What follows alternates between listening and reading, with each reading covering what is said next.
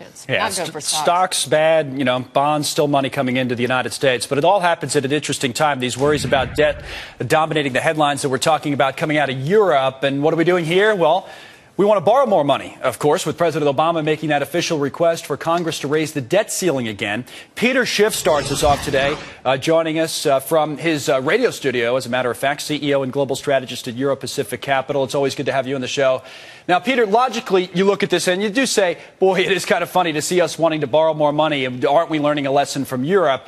But I'll put it to you this way. I think that's disingenuous in some ways because to me the situations are much different and the number Dagen showed you, 1.8% 10 year note, is much more important. As bad as they are, the money still comes here and we have to raise that debt ceiling. What choice do we have? What do you say? Well, well, first of all, you're right. The situations are different. The situation is worse in America than it is in Europe. Oh. We are able right now to benefit from the European problems because people are buying dollars because they're afraid of the debt in Europe, even though the debt is bigger here. Right. And we are making it even bigger well, come by on, raising Peter, hold the on debt a second, ceiling. Hold on a second, we are I want to put this in, our problems. We should be. Is, we should. We should keep that ceiling where it is. I mean, wait a minute. What, wait, what wait, good is on a ceiling second. if you raise it whenever you get there? We need to be reducing debt in this country. We need to be That's paying exactly down debt. what I'm talking about in terms of being dis- disingenuous. So you have this crisis in Europe, which is illegitimate. There's our national debt, by the way, and I know this headline grabs everybody, and it's obviously a ton of money, 15 trillion dollars. But you have this crisis that's legitimate in Europe, and then we're go- we would create our own here if we didn't raise the debt ceiling. And how can you say things are worse over there?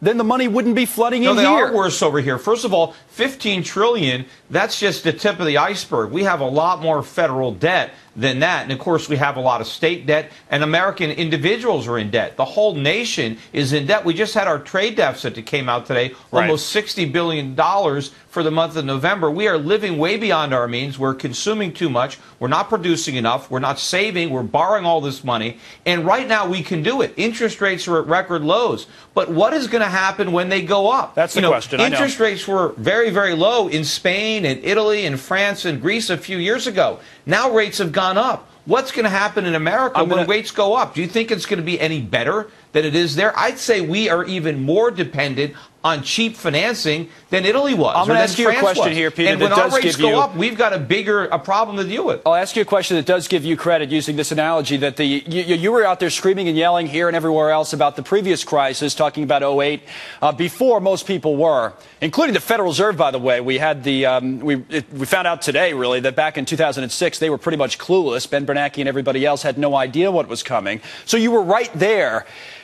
A lot of people didn't think it was going to happen. It did. In this case, how do we know? When, because the interest rate's at 1.8% on the 10 year note, I mean, at some point they're going to just spike up overnight, but what's going to happen?